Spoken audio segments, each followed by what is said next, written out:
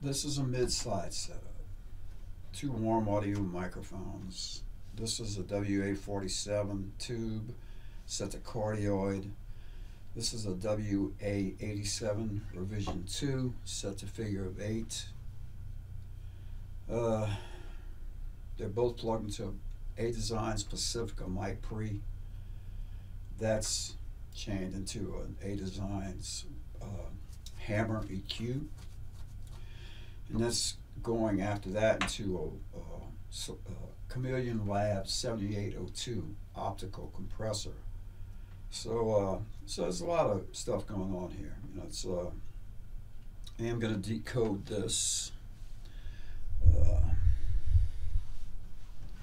once I'm done.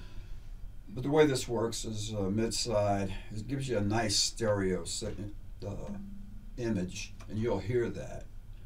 Uh, there are advantages that you can check on to mid-side stereo because uh, when you put it in mono, it translates nicely.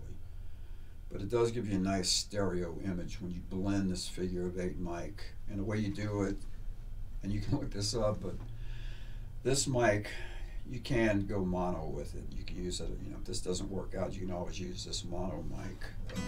I've got it pointed at the standard 12th fret. Now this microphone here, you have to decode it in the DAW. And the way you do that, you clone the track and you, you hard pan each left and right, those two clone tracks, an identical track of this. And you put one out of phase. Start with the faders off, then lift the faders till you're blending with this mic to get the stereo image you, you're looking for the bigger the room, the more the effect. So if you're in like a church or you know something like that, silo or something, you're doing this, you can get some pretty incredible stereo effects with it. So.